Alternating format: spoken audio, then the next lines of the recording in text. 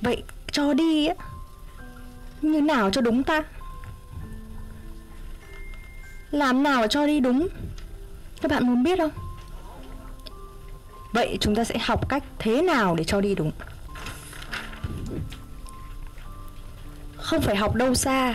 Chúng ta học ngay một bậc thầy của mình. Một đấng giác ngộ là đức phật dạy chúng ta làm thế nào để cho đi. Đức phật có một bộ kinh mang tên đó là kinh kim cương. Kinh kim cương dạy chúng ta một quy luật, được gọi là quy luật gieo hạt kim cương. Dạy chúng ta cách gieo đúng, cách cho đi đúng để mà chúng ta gặt. Một quy tắc của hạt giống đó là sẽ luôn luôn nảy mầm và phát triển chỉ cần chúng ta chọn đúng hạt giống và gieo đúng mảnh đất chăm sóc đúng cách còn nếu chúng ta nói là tôi chọn đúng hạt giống rồi, nhưng tôi lại gieo vào nền xi măng thay vì gieo vào nền đất, thì liệu hạt giống có nở không? Không. Nếu như chúng ta gieo đúng hạt giống rồi, đúng vào nền đất rồi nhưng chúng ta quên chăm thì nó có nảy nở không? Theo quy luật bình thường nó vẫn nảy, nhưng mà nó sẽ, cái tốc độ của nó và cái tỷ lệ nó nảy nở mà thành hoa, trái, sai, chữ, chỉ thì nó sẽ ít hơn nếu chúng ta có chăm nhưng nguyên tắc của hạt giống đã chọn đúng, đã gieo đúng, kiểu gì cũng sẽ nảy nở. Không phải lo. Vậy đức phật đã dạy chúng ta cái công thức đó. Và có rất nhiều người mất rất nhiều tiền đi học công thức này. Được gọi là một lớp năng đoạn kim cương. Có 5 level. Các bạn nào nghe thấy tên lớp này chưa? Rất nhiều triệu đồng một level. Nhưng nhưng chúng ta hãy nhớ rằng công thức năng đoạn kim cương, gieo hạt kim cương là của ai? Đức phật đức phật có thu tiền ai để người chia sẻ cái này không? Không, nó là của đại chúng. Ai đủ nhân duyên thì biết được, và ai đủ nhân duyên biết được và áp dụng thì có thành tựu. Và bây giờ chúng ta sẽ biết được cái điều đó đầu tiên chúng ta cần phải hiểu được mình sẽ gieo vào đâu. Bốn mảnh đất màu mỡ để chúng ta gieo hạt.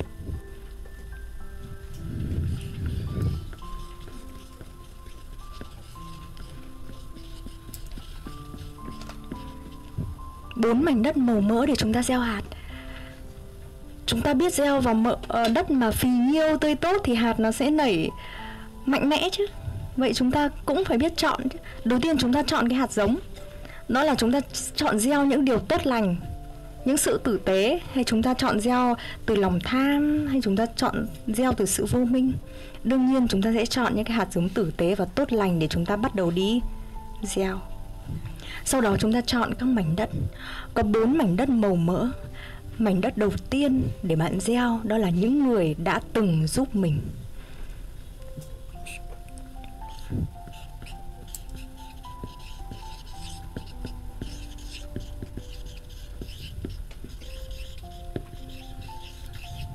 Những người đã từng giúp bạn.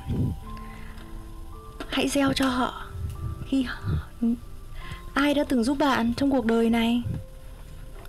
Bố mẹ mình ai nữa? Con cái mình ai nữa?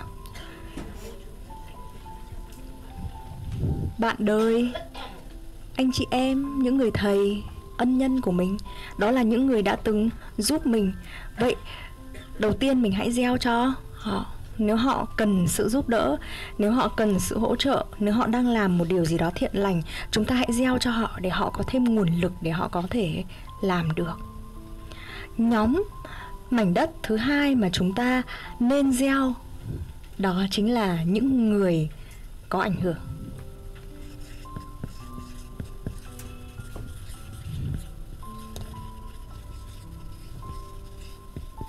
Người có ảnh hưởng tại sao họ lại có ảnh hưởng trong cuộc đời này? Chúng mình nghĩ bắt đầu từ cái đơn giản. Ai là người có ảnh hưởng nhất với mình trong cuộc sống? Bố mẹ mình. Tại sao? Đúng rồi, sinh ra dạy dỗ nuôi nấng, hy sinh cho mình. Đúng không ạ? Thế nên bố mẹ nói mình nghe. Mình có không hài lòng mình cũng nghe. Vậy bố mẹ có phải rất có tầm ảnh hưởng với ta không?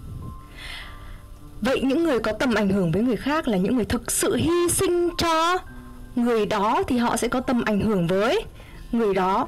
Vậy những người có tầm ảnh hưởng với cộng đồng là những người đã hy sinh cho cộng đồng nên cộng đồng nghe lời họ. Họ có tầm ảnh hưởng với cộng đồng. Vậy khi họ cần sự giúp đỡ để làm một việc tử tế mà mình có thể giúp quỹ cho đi của mình có, mình còn có thể hãy gieo cho họ. Tiếp theo nữa, mảnh đất thứ ba, đó là những người đang rất cần.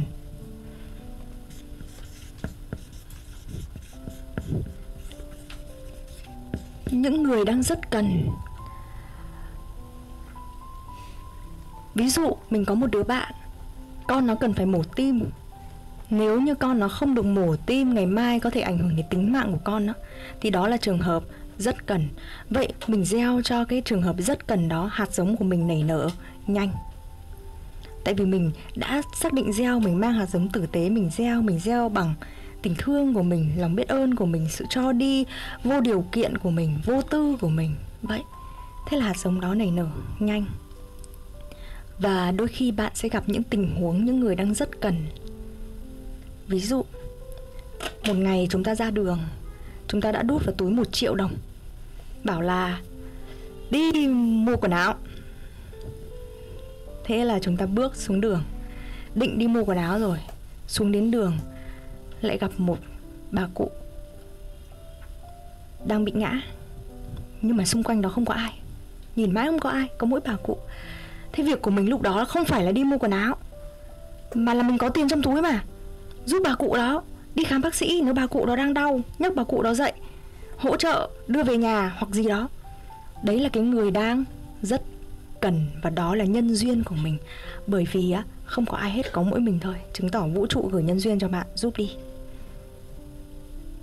Nhưng nếu hôm đó mình cũng có một triệu trong túi, nhưng không phải là đi mua quần áo, mà mình cần phải đến cơ quan gấp xử lý một việc rất quan trọng có một cuộc họp mà mình không có mặt sẽ ảnh hưởng đến sự sinh tồn của rất nhiều nhân viên của mình.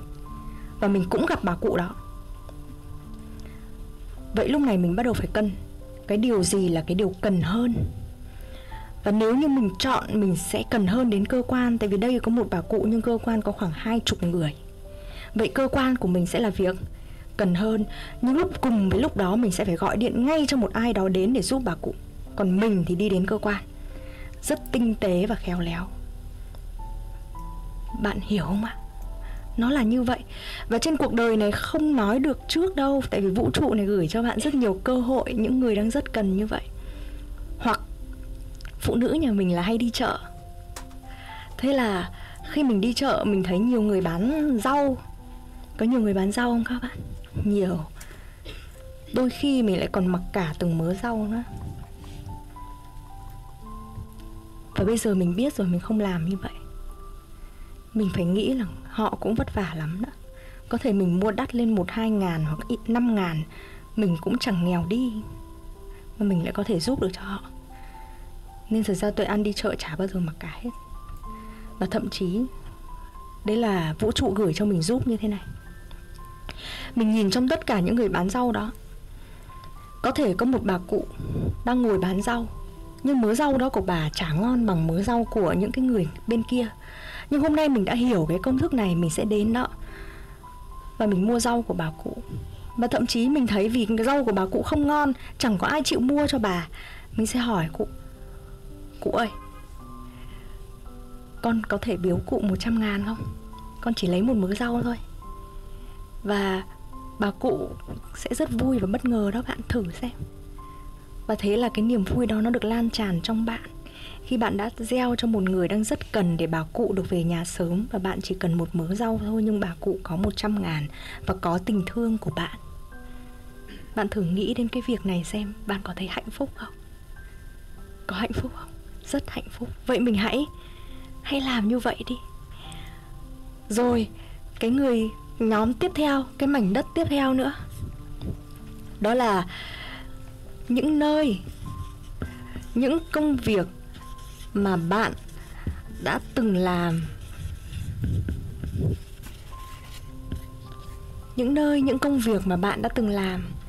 Ví dụ bạn từng là bác sĩ thì có nghĩa bạn có khả năng cứu chữa bệnh cho người khác.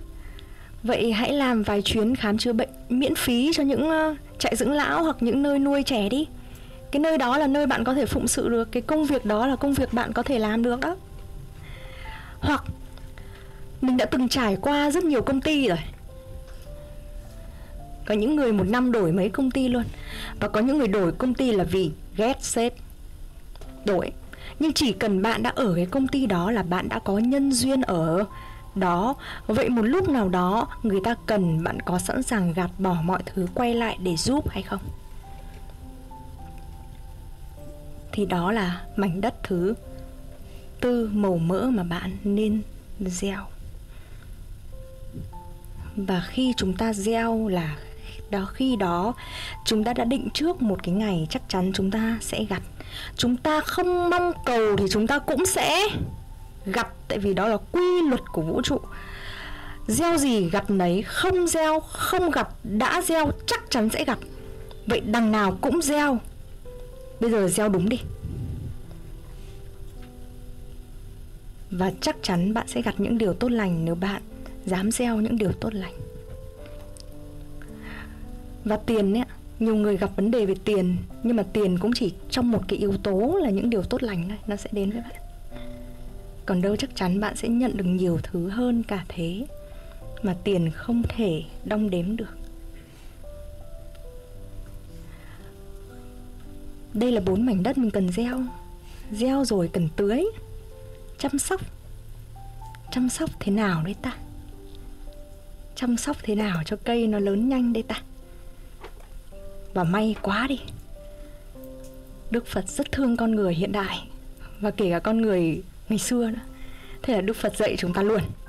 Đỡ phải nghĩ hên ghê. Thế là đức phật dạy chúng ta luôn. Gieo như thế nào, chăm như thế nào. Gieo hạt. Không phải là giao hàng nha. Gieo hạt. Thế là đức phật dạy chúng ta chúng ta có bốn bước để chúng ta bắt đầu gieo hạt. Đầu tiên, để gieo hạt, chúng ta cần phải nói ra cái ước mơ của mình. Ước mơ của bạn là gì? Cái điều gì là điều bạn muốn? Có một vài bạn hỏi tội an sứ mệnh của mình xác định thế nào á? Bạn hãy xem, tĩnh lặng lại. Quay vào bên trong, ước mơ của bạn là gì? Tài năng của bạn là gì? Sở trường của bạn là gì? Cái điều gì mà bạn có thể làm mãi không cần tiền mà bạn vẫn không chán, mà bạn vẫn đam mê nó? Cái điều gì mà bạn sẽ có thể theo đuổi nó suốt cả cuộc đời này mà bạn không thấy chán? Cái ước mơ nào là cái ước mơ của bạn? Trong sức khỏe, trong tiền, trong thời gian, trong mối quan hệ cái điều gì là cái điều ước mơ của bạn hiện tại? Có thể ước mơ của chúng ta sẽ thay đổi, nhưng hãy xác định cái điều gì là cái ước mơ của mình đầu tiên. Sau khi chúng ta xác định xong ước mơ của mình rồi á, thì chúng ta sẽ cần phải xác định đến cái bước tiếp theo, bước 2 đó là bước tìm người.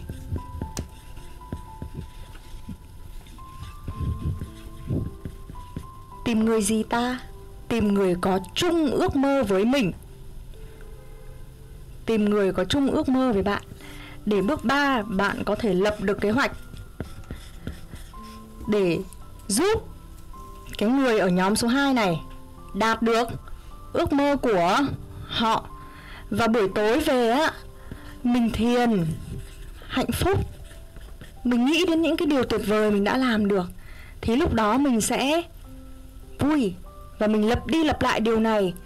Đến một ngày họ cũng đạt được ước mơ của họ và mình cũng đạt được ước mơ của mình.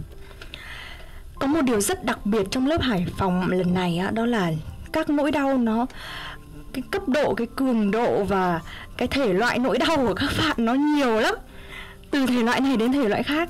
Và có một vài bạn lại còn có nỗi đau vì bố mẹ mình người thân mình chồng mình vợ mình ghét mình không đồng hành cùng mình mọi người xa lánh mình vì mình làm đa cấp.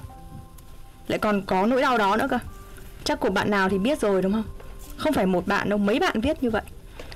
Vậy thì chúng ta nhìn lại xem tại sao người ta ghét đa cấp? Thật ra đa cấp uh, chân chính đi theo bốn bước gieo hạt kim cương của Đức Phật. Nên đó là lý do đa cấp bảo hiểm kinh doanh hệ thống bùng nổ trên toàn cầu. Các bạn biết cái ngành này đúng không? Hay thậm chí cả bây giờ ờ, không phải là những tập đoàn đa cấp nước ngoài thì hệ thống kiểu boss mỹ phẩm rồi kinh doanh online ấy, nó cũng đi theo cái quy trình đó. Và tại sao nó bùng nổ như vậy? Vì nó đi theo cái này, có phải vậy không? chúng ta nói ra ước mơ của mình ví dụ ước mơ của bạn đơn giản về tiền đi kiếm được 200 triệu một tháng. Ví dụ, bạn tìm những người có chung ước mơ với bạn bạn lập kế hoạch giúp ai? Giúp họ đạt được 200 triệu của họ mỗi ngày mình thiền hạnh phúc thì có phải cái lúc họ đạt được ước mơ của họ, mình có ước mơ của mình? Đồng ý không ạ? Đây có phải là công thức này không? Phải. Nhưng tại sao người ta lại ghét? Bởi vì mình làm đa cấp theo một tư duy được gọi là tư duy săn bắt không phải là tư duy gieo hạt. Và đa số là làm theo tư duy săn bắt kiểu như đi săn đấy nhìn thấy này F1 nha, đại lý cấp 1 nha F2 nha.